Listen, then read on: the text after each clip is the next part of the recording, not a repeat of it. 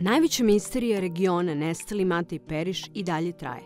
Podsjetimo da je ugledni parapsiholog Robert Kajšler sa Floride, koji radi dugi niz godina sa američkom policijom na rasvetljavanju desetine ubistava i nestanaka ljudi, prvi put ekskluzivno za naš kanal obelodanio da je Matej Periš živ. Je Mateja živ? Da, sada. Pazite po mislima Maji, ona zna vrlo dobro šta se dešava.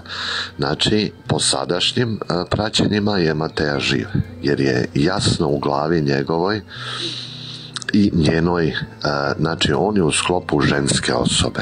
Ovoj tvrdnji pridružio se još jedan svetski priznat parapsiholog i beli mag koji radi za NASA, gospodin Nedljko Dražić, a koji je za naš kanal istakao da je nestali spličanin i dalje živ.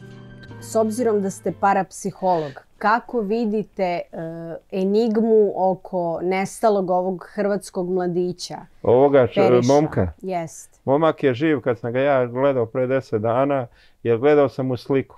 Uh mhm. -huh. Sliku sam napravio, radio sam ritual, slika se ne diže, on je živ. Kako je to došlo, to ja ne smijem sve da govorim, to nije moj posao, razumije. Ko kaže da ga, da je, da ga ne mogu naći, to je Jeli prvo sve te kamere, svaka ambasada kontroliše svakoga. Sve ambasade, sve ljude, sve ulice, od, razumiješ, svuda ima, i u zidovima, u kafićima, u ovima centrima, razumiješ me? Nema šta ne skladi.